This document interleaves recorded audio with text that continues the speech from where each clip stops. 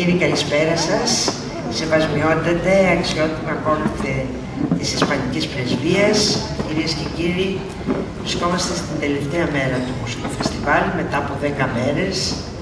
Ε, οι περισσότεροι από, από αυτούς που βλέπω απόψε και που βλέπω κάθε βράδυ είμαστε πιστοί του δεκαημέρου, θα έλεγα.